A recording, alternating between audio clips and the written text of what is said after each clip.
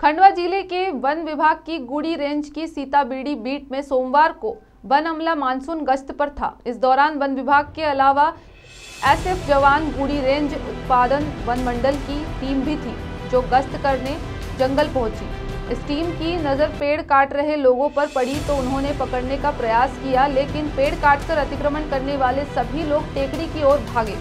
One अमला आगे बढ़ा तो इन पर पथराव कर दिया गया। खुद को बचाते हुए वन कर्मी पीछे हटे और चेतावनी दी, लेकिन कोई नहीं माना। वन अमले को हवाई फायर करना पड़ी। वहीं करीब सुबह साढ़े नौ बजे मानसून गश्त शुरू होने के बाद दोपहर करीब दो बजे बिगड़े हालात के चलते वन परिक्षेत्र गुड़ी के अंतर्गत आने वाली सीताबीड़ी बीट में वन अमले पर अतिक्रमणकारियों ने पथराव कर दिया। तो वन अमले को करीब आधा किलोमीटर पीछे लौटकर बचाव करना पड़ा।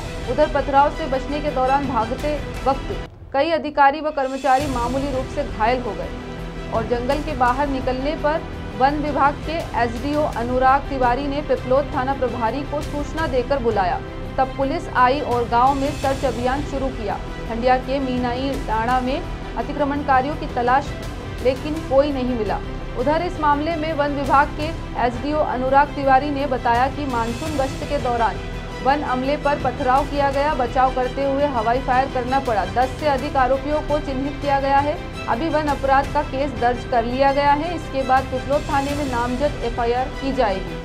खालवा से मुकेश जाधव की रिपोर्ट।